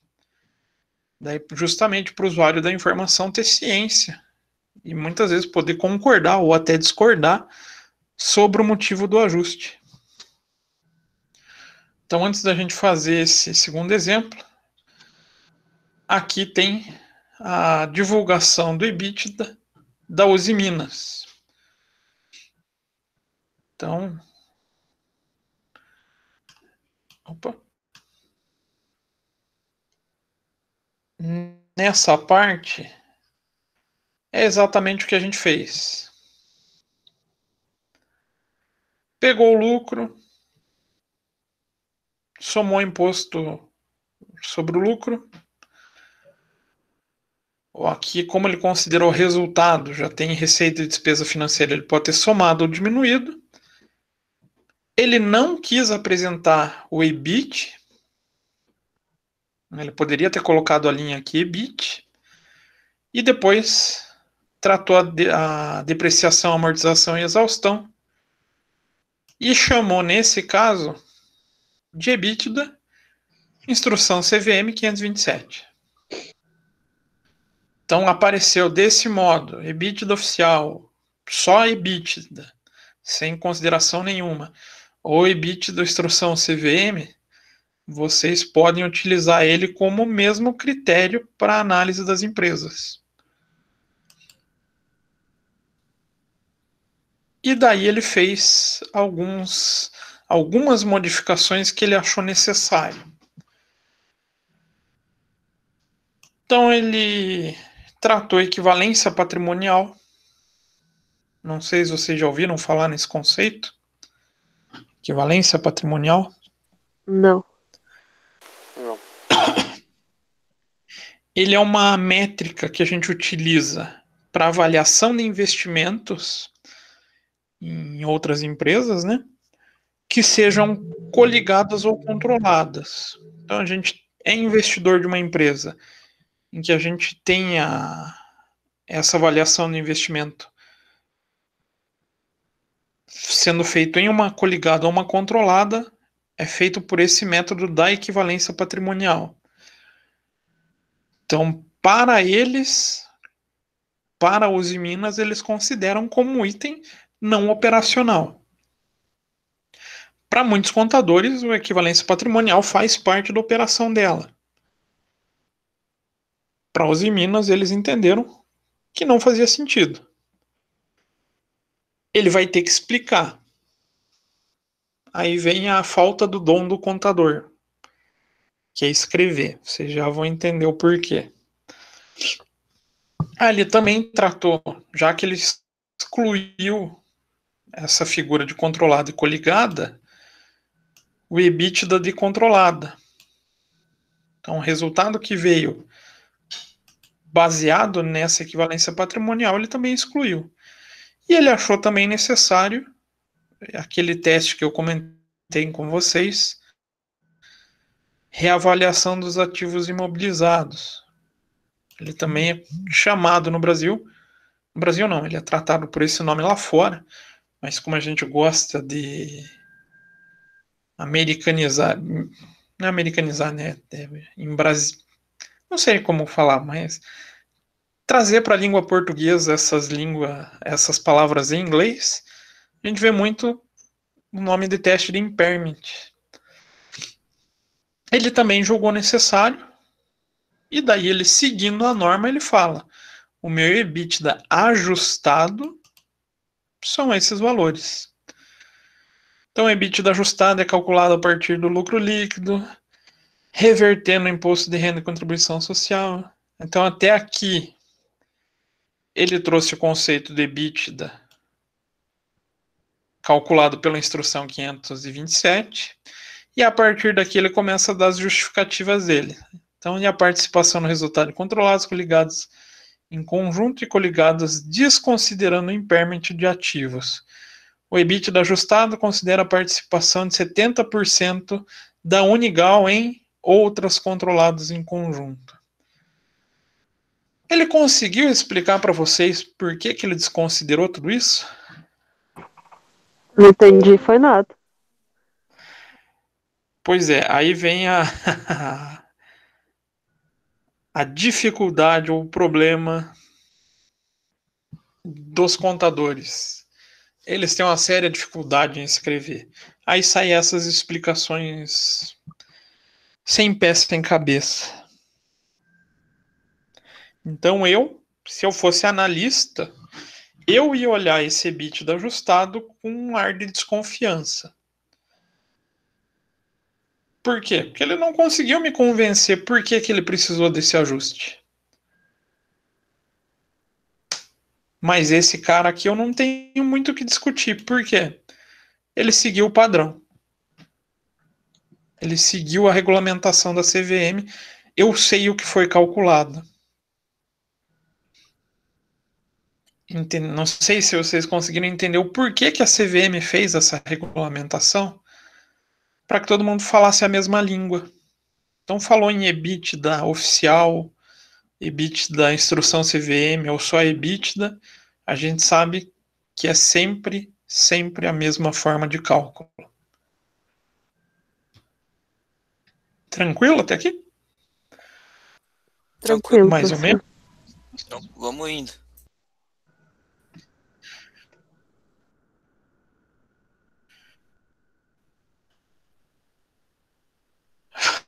Estamos indo. Tá, tá com cara de pressa para acabar a aula.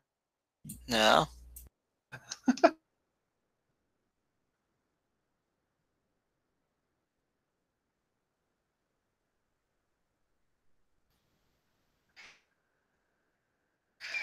Então,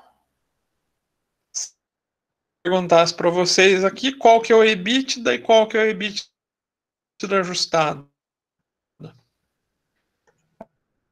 Aqui a gente levaria em consideração a existência de valores não correntes de 11,4. A gente segue exatamente um padrão para início do cálculo. Então, até o EBIT do oficial Nunca estão 212,50. Ele já trouxe 91,8. A receita já está entre 9,40. Então, menos zero da receita, mais 109. De EBIT, temos 413. Aí a gente tem quanto de depreciação? 41,20. Opa. O nosso EBITDA vai ser o 413 mais o 41. EBITDA, o oficial super tranquilo, né? Nada de complexo. Aí falando no ajustado, a gente vai colocar o que a gente vai ajustar. Então, no nosso caso aqui, os itens não correntes, né?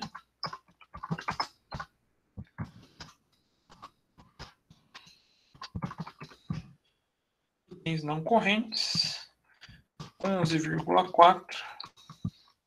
E a gente vai ter que chamar de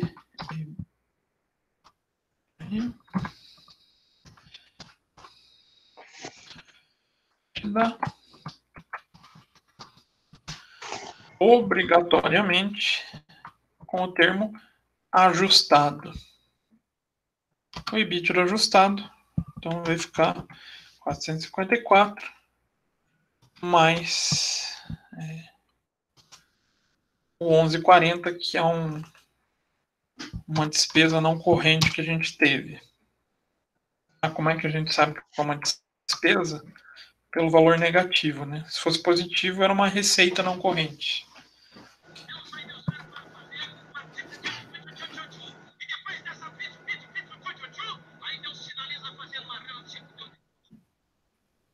Chefe futebol.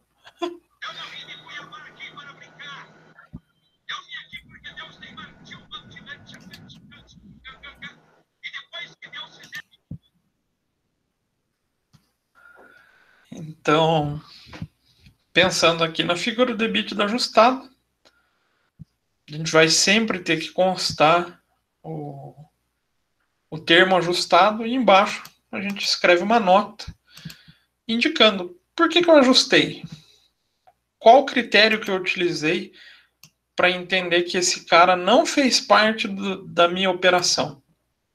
Aqui a gente não tem essa informação, não tem como fazer a nota mas os valores a gente tem, né? Então, EBITDA ajustado 466 e o oficial 454.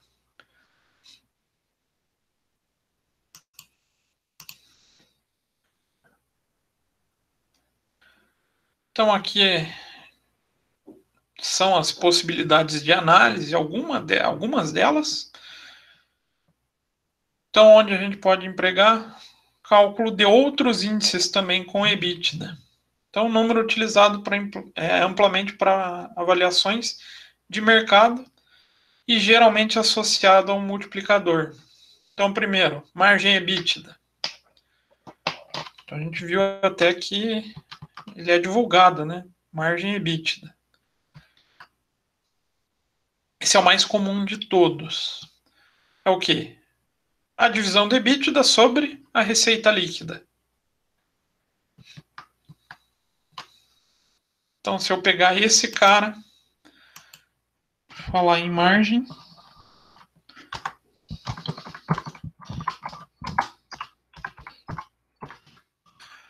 o que eu faço? A divisão do EBITDA que eu encontrei pelo valor da minha receita. Então aqui eu tenho 54%. O que, que isso quer dizer?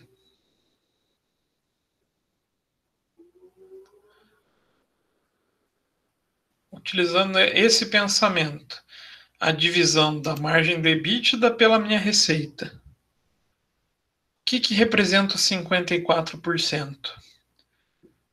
É o quanto da minha receita vai efetivamente se transformar no meu fluxo de caixa operacional ou no meu EBITDA.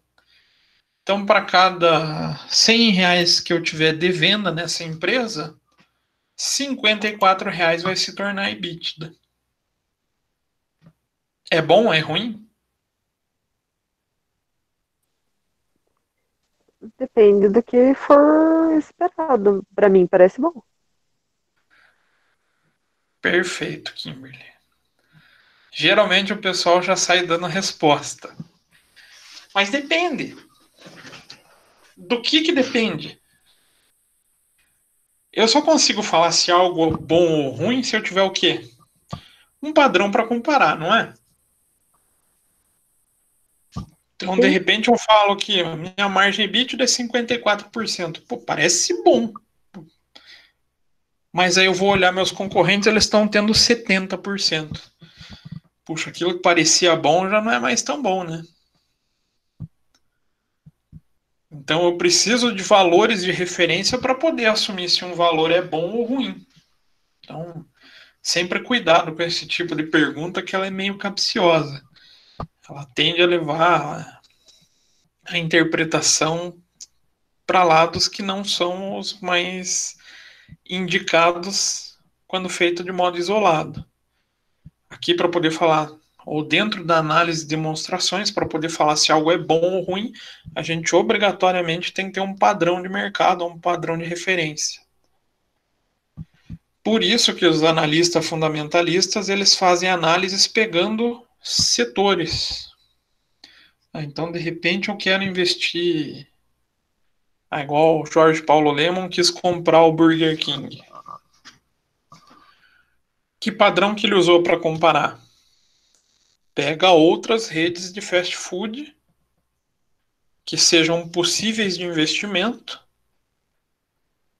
e faz a comparação para ver se é um investimento que tende a valer a pena ou não. Então aqui a gente tem uma primeira métrica de análise. Segunda métrica, índice de cobertura de juros. Então, dívida bruta dividido pelo EBITDA. Então, a ideia da, do índice de cobertura de juros é a avaliação de capacidade de pagamento. Então, a minha dívida bruta vai estar lá no passivo, eu vou pegar e dividir pelo EBITDA. Então, vamos pensar. Essa empresa tem lá na sua estrutura uma dívida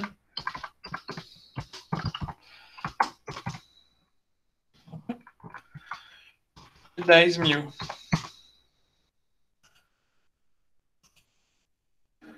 Qual vai ser esse índice de cobertura de juros?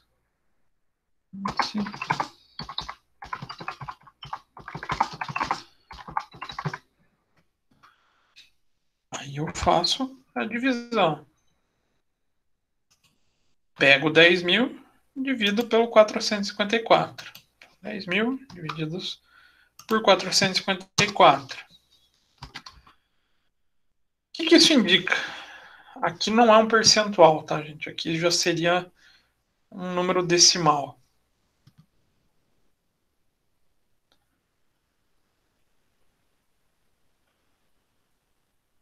Fazendo esse cálculo, dívida, deixa eu escrever certo aqui, né?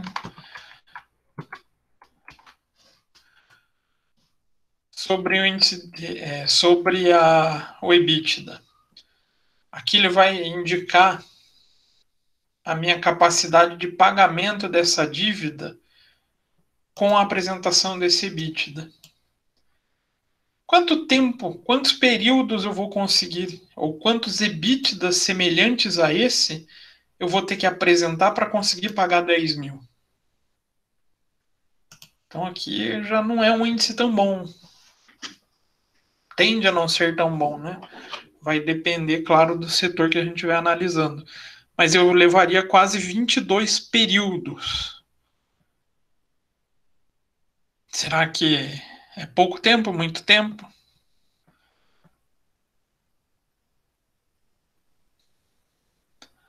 A gente viu até na, na Unidas lá que o aceitável deles acho que estava 2.13 em 2014. Aqui ele está dando 21. Olha o problema. O excesso de períodos com capacidade para cobrir essa dívida. Então aqui a gente vê a capacidade, o tempo, prazo médio que a gente levaria para fazer esse, essa cobertura da dívida. Aí outro índice, dívida líquida sobre o EBITDA, tem a mesma função do índice de cobertura de juros, porém, o que, que ele faz? Ele vai desconsiderar a figura do valor futuro. Então, quando a gente fala em dívida bruta, a gente está pensando no total da dívida até o final da sua, do seu prazo. A dívida líquida já é o, o valor presente de uma dívida, né? Então, fazendo essa divisão, indicaria quantos EBITDAs eu precisaria, ou quantos períodos com esse EBITDA eu precisaria para fazer uma cobertura de juros. E esse também é, um, é, é bem difundido. Múltiplo FV divididos pelo EBITDA. Então, é o valor de mercado da firma acrescido das dívidas líquidas dividido pelo EBITDA. Aqui o que a gente apresenta de diferente, valor de mercado da firma. Quanto que a empresa deve para o capital próprio só que é valor de mercado. Se ela fosse resgatar todas as suas ações, a gente teria o resgate do valor de mercado da empresa. E se a gente soma com as dívidas líquidas, a gente consegue então verificar esse, essa, essa capacidade de pagamento dos capitais investidos. Aqui a gente está falando, tanto no índice de cobertura de juros quanto a dívida líquida sobre o EBITDA, da capacidade de pagamento do capital de terceiros. Aqui já é do capital total.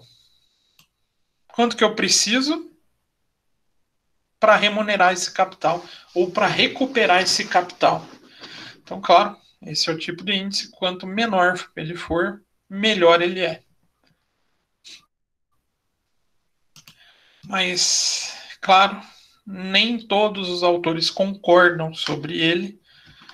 Então a gente tem aqui algum professor da USP que critica, o tal do Eliseu Martins, um dos mais renomados na contabilidade no Brasil.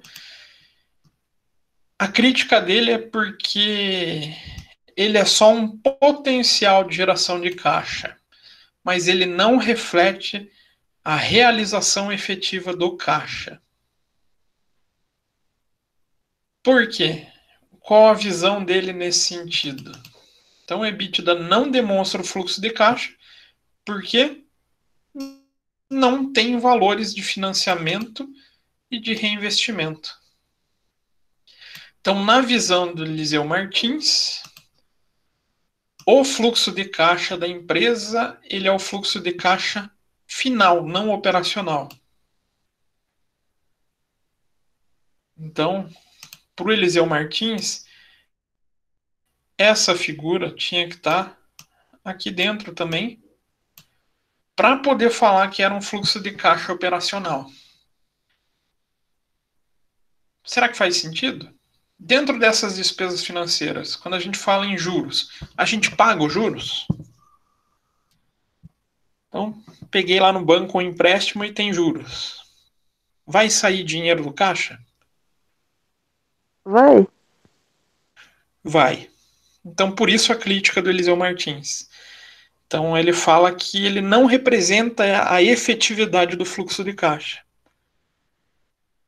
Mas, claro, isso não vai trazer prejuízo na sua capacidade informacional ele ainda tem a capacidade de trazer informação sobre a operação da empresa.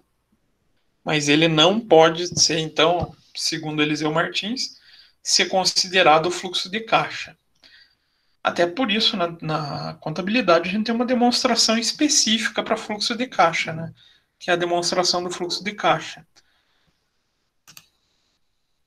Então, para Eliseu Martins, o pecado é não considerar a figura de orçamento CAPEX, então, tudo que a gente tem de gasto investimento, máquinas, produtos, não acabam entrando nessa figura de fluxo de caixa. Consequentemente, a gente não tem os juros também dessas figuras, fazendo com que ele gere uma distorção na possibilidade de falar que ele é um fluxo de caixa da empresa.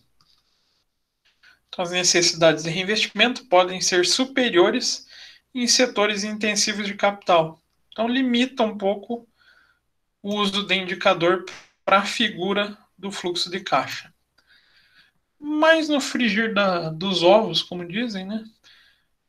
A maioria não utiliza ele, não vai buscar quando a gente pega essa demonstração, esse valor aqui, não está pensando na geração do fluxo de caixa, mas sim no no desempenho da operação. Se a operação tem capacidade de gerar valores positivos, resultado positivo ou não. Então, apesar dessa crítica do Eliseu Martins, ele não vem perdendo a sua é, utilização, ele acaba ainda assim sendo amplamente utilizado.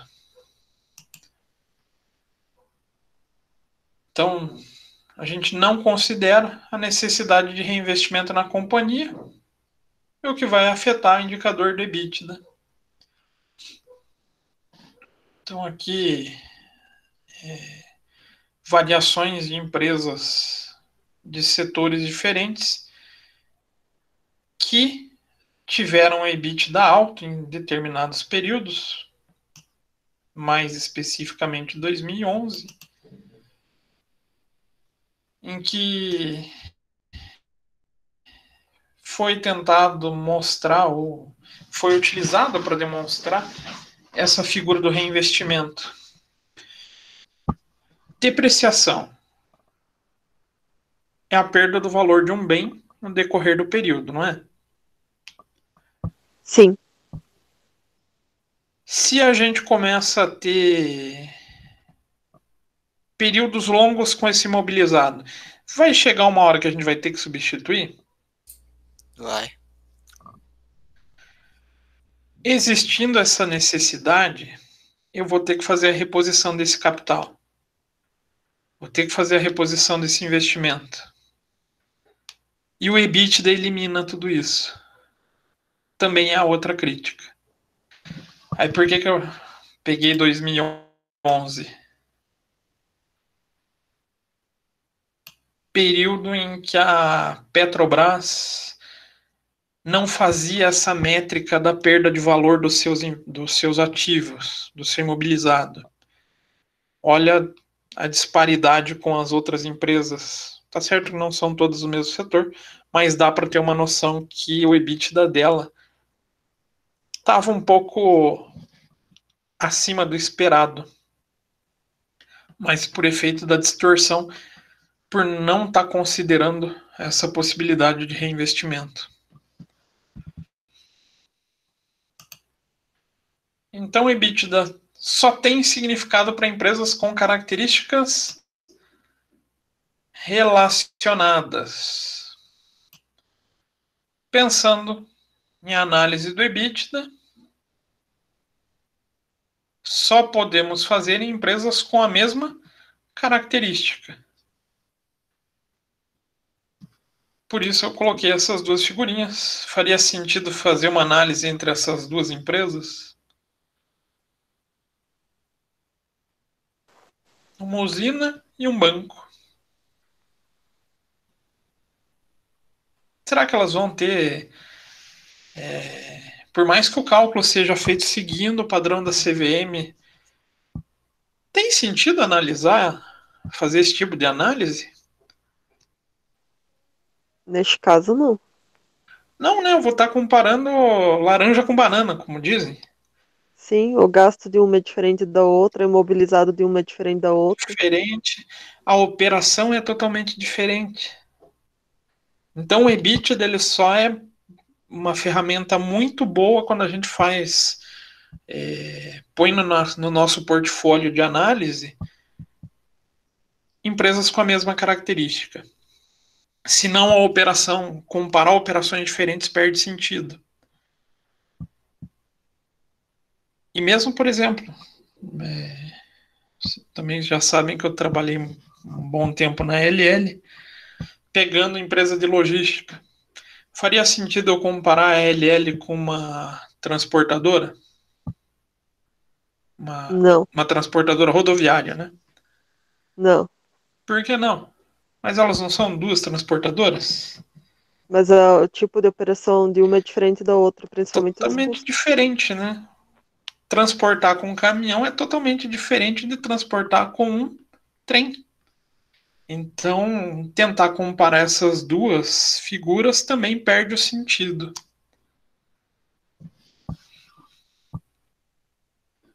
Então, tentei trazer esse breve resumo sobre EBITDA para vocês. Não sei se deu para compreender, não deu.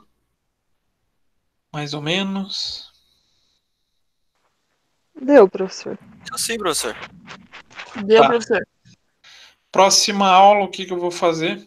Vou pegar justamente empresas do mesmo setor para que a gente consiga fazer essas comparações. Então, para que a gente consiga tentar visualizar efetivamente é, quem está melhor, quem está pior, aí a gente consegue afirmar porque a gente tem padrões para comparar Então, daí para a gente colocar em prática essa utilização da, do EBITDA para o cálculo. Tranquilo? Tranquilo. Beleza, professor. Então, estou aberto a dúvidas, questões, perguntas. Esse vídeo que você gravou, você vai upar e colocar no. Vou, vou subir lá no Ava também. Beleza. Daí vocês podem rever qualquer coisa se ficar. Principalmente ali na hora que eu calculei, às vezes vocês querem montar uma planilhinha e tá tranquilo de, de fazer. Uhum, Mas bem que é bem, bem. Vocês viram que é simples o cálculo do EBITDA, né? Sim. Ele envolve poucas variáveis. É mais o- a figura da análise que a gente tem que tomar cuidado. Tranquilo? Tranquilo, professor. Mais gente? Show, professor. Questões, perguntas? Então, a atividade de vocês. Coloquei. Tô dando muita colher de chá para vocês já. Só cinco. Oxe, professor.